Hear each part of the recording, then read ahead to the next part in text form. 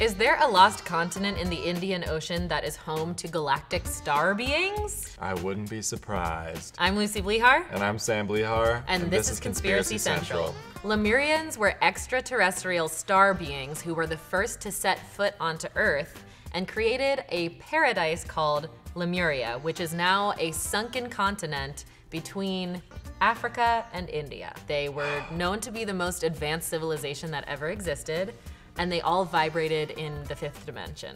Why do we care about it? Lemuria is hypothesized to have been the cradle of humanity, like the very first human civilization. Oh. The original name for it, the spiritual name, was Mu or Mu, and that translates to Mother Earth. So this starts with a man named Philip Sclater. Philip Sclater found lemur fossils in Madagascar and in India, but they were entirely missing from Africa and the Middle East, which hmm. means there must have been a continent connecting Africa and India that is now no longer there. So he proposed that during one point in the past, India and Madagascar slash Africa were connected by land. So another scientist and genealogist, Ernst Haeckel, studied this same thing and all the flora and fauna, and he drew a hypothetical map of Lemuria, hmm. which he also referred to as paradise. And it's right here, so it would have connected the east coast of Africa to Southeast Asia. And he even drew the travel routes and migration routes of all beings of life that would have passed through that area. His theory was accepted by the scientific community because it helped explain early human migration routes. So he called the map Paradise and he said that Lemuria was a land bridge that connected East Africa all the way to the Philippines. Later, a Russian occultist and psychic named Helena Blavatsky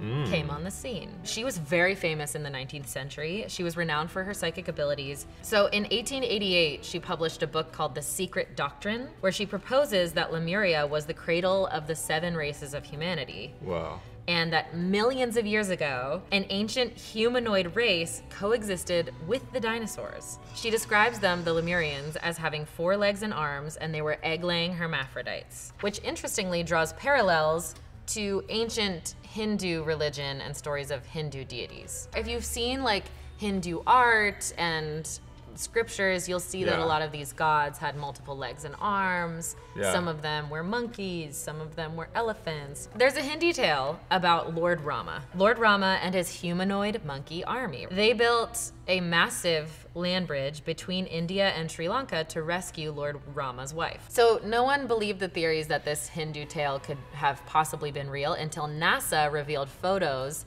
showing proof of a submerged massive land bridge sunken in the Indian Ocean. Just like a stretch, of, a strip of land. Mm-hmm. And so people built this. Yep, it literally looks like a bridge. So, a man named Dr. Badri Narayanan, who is a head of the geological team in all of India, conducted research on this land bridge, and his team took samples from it, and they found 7,000 year old layers of consistent sandstone, proving that this bridge was man made.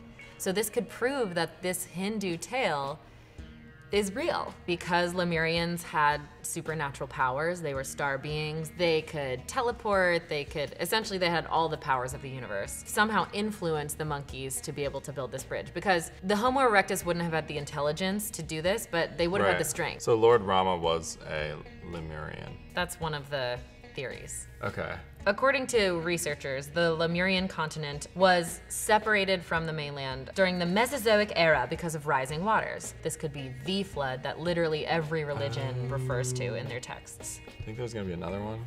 I don't want to talk about it. Okay. In 2013, scientists were researching on the tropical island of Mauritius, and they discovered zircon and granite dating back 3 billion years Oh my gosh. connected to a much older landmass that had sunken into the Indian Ocean. So there's too much lining up here to deny that this lost continent actually existed, especially the fact that the land bridge is legitimately there underground and NASA has photos of it. How far under the ocean is it? Is it like barely under the surface or is it like down there? The NASA photo that I saw, you can clearly see like dark, huge rock structures. Like, there's video footage of scientists scuba diving and seeing these structures, like clearly man made structures underwater. Oh my gosh. Mm-hmm. So, were the Lemurians star people who came and influenced the Homo erectus to help them build a land bridge? Were there actually deities hmm. who lived there? I think I'm convinced because it was so long ago. How would you have known to build a bridge from Madagascar all the way to Lemuria? And how would you have done it without highly intelligent, advanced civilizations guiding you? I don't even know. Are there aliens like in the earth right now? Are they ancient star beings? Were they the first humanoids? Are the Hindu stories of all these lords and deities actually true historical events? Are you in the fifth dimension? We are. I'm Sam Blihar. And I'm Lucy Blihar. And, thanks, for watching Conspiracy, Central.